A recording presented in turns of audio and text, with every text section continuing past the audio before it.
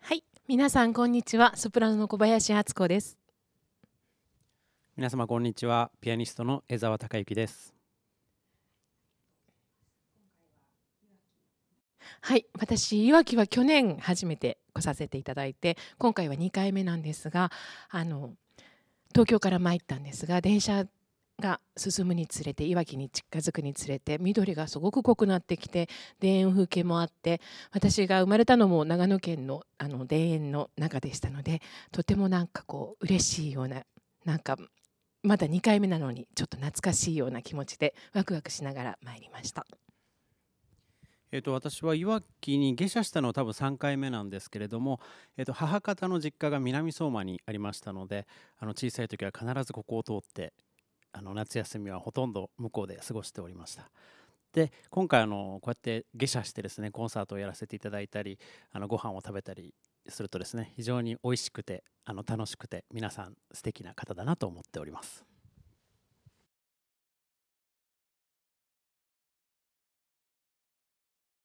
えっと、今回は小学校1、2、3年生、4年生、それから中学生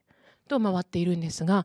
もうどの子たちにも共通して言えるのは、素直で目がキラキラしてる。なんかもう、こちらからこう、投げたものがもうすぐこう返ってくるような、こうキャッチボールができているような感じがあって、それはもうこの風景と、ここに住んでる大人たちの、なんかこう、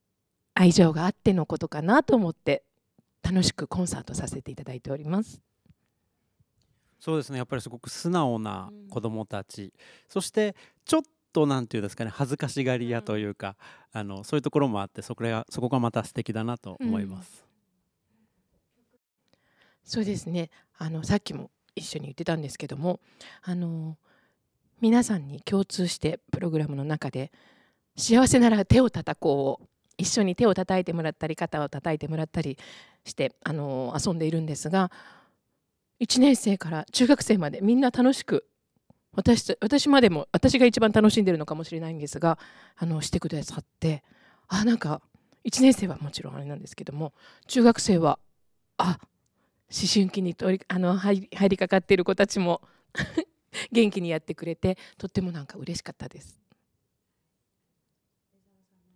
そうですね中学生も僕はやってくれるのかなとかなり疑問に思ってたんですけれどもみんな非常に楽しそうにやってくれまして大人の方はどうなのかなと密かに思っております。それからあの逆にあのしっとりした曲もじーっとこちらを見て聴いてくださる聴いてくれる姿がとても印象的でした。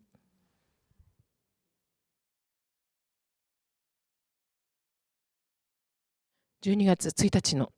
ー大人の音楽室。あのアリオスという音楽室を使って私たちがどんな音楽の授業と言っていいんでしょうか。あのできるか楽しみにしてます。先ほどちょっとこうアリオスにあるホールや楽器やいろいろ見せていただいてちょっといろいろ浮かびいろんなことを浮かびながら楽しみながら準備してまいりたいと思います。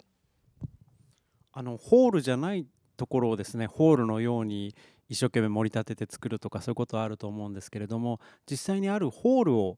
わざと音楽室に見立ててやるコンサートというのは私も出たこともありませんし見たことも聞いたこともないんですね。でも先ほどあの小劇場に行った時にすごくあの可能性がいっぱいあるところだなと思いましていろんなことができるんじゃないかなと思っていろんなことをやってみたいなと思っております。いわきアリオス音楽室コンサート二工事。ソプラノ小林敦子の音楽室。12月1日木曜日13時30分開演です。皆様のご出席をお待ちしております